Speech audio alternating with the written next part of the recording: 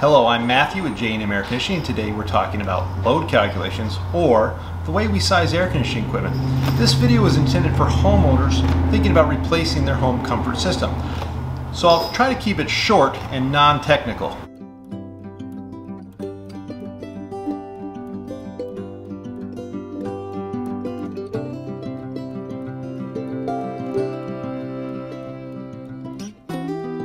Once your air conditioning system has been installed, it can be very difficult to get the contractor to fix any issues that arise from improper equipment size. Often you are stuck with whatever equipment they sell you. Most air conditioning contractors skip the load calculation and replace it with rules of thumb like 400 square feet per ton.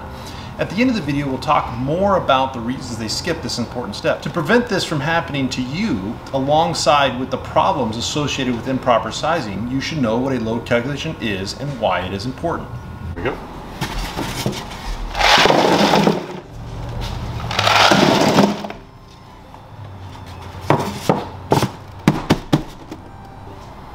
This ice chest in one way is like your home. It's an insulated box. If we want this box to stay cold, we need to keep the heat out. That is what insulation does. The ice inside will melt eventually because heat comes through the walls and ceiling. The insulation slows it down, but it can't keep it out forever. When the ice melts, we need to add ice to keep it cool inside.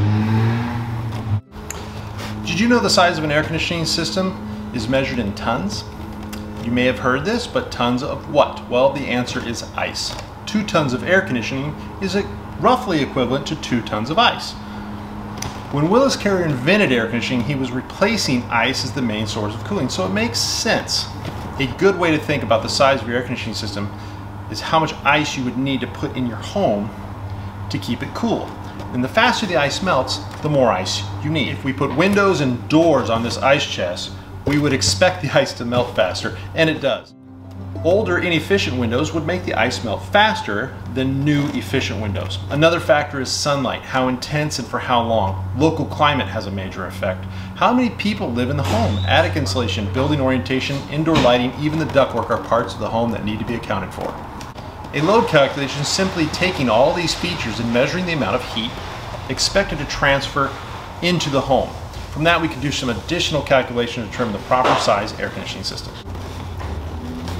So the question is, can you just install one larger than you need just to be on the safe side? Well, the goal is to balance the size of the air conditioning system to the heat gain on the home as much as possible. It happens to work out that most systems are still larger than they need to be, but we do want to avoid grossly oversizing the equipment. The reason is oversized equipment will cause comfort problems related to reliability, humidity control, temperature control, uh, imbalances, and operating costs. It will probably need to do a whole video just on equipment oversizing to go more into detail, but suffice to say if it costs more to install, more to run, makes you less comfortable, you probably shouldn't spend your hard-earned money on it. Well, what do you as a homeowner need to do? Um, well, you need to insist on a load calculation before the installation is started. Ask for an example calculation completed by the contractor to make sure they're not trying to pull one over on you. Avoid online load calculations that are oversimplified. Avoid rules of thumb like 400 square feet per ton.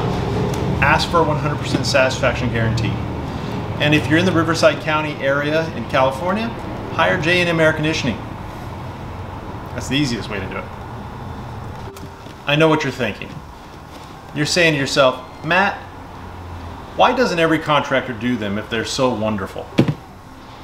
Well, load calculations require more time, more training and expertise, expensive software, all things that most contractors just aren't willing to invest in.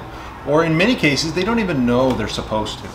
Perhaps the number one reason for contractors not to perform a load calculation is that it doesn't help them sell air conditioning systems. Homeowners tend to prefer the rule of thumb approach. There's something comforting in the simplicity.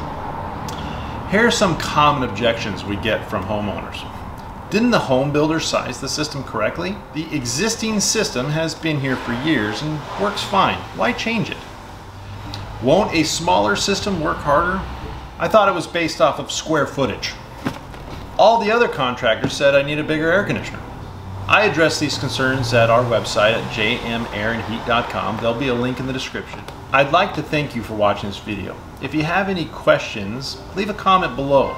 There's a link in the description to our website if you'd like to contact us directly. Thanks again.